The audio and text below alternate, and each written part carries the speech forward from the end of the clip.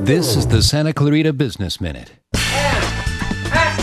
The city of Santa Clarita has always been known throughout Hollywood as one of the most film friendly cities in the country. really is the most film friendly city, the most business friendly city. It's been wonderful to be here and get the cooperation you guys give us. Uh, and you have so many versatile looks. Now, Santa Clarita is the first in the state to offer production companies a local film incentive program. we could put that money on the screen. And that, that's sort of one of our primary objectives, you know, is to put as much money as we have um, in front of the camera. It all adds up to big savings for producers and production companies looking to tighten their belts in this economy while keeping their productions close to Los Angeles. I can live in a city and work in a city and feel that it, it all works and it works very well. For your next production, think Santa Clarita.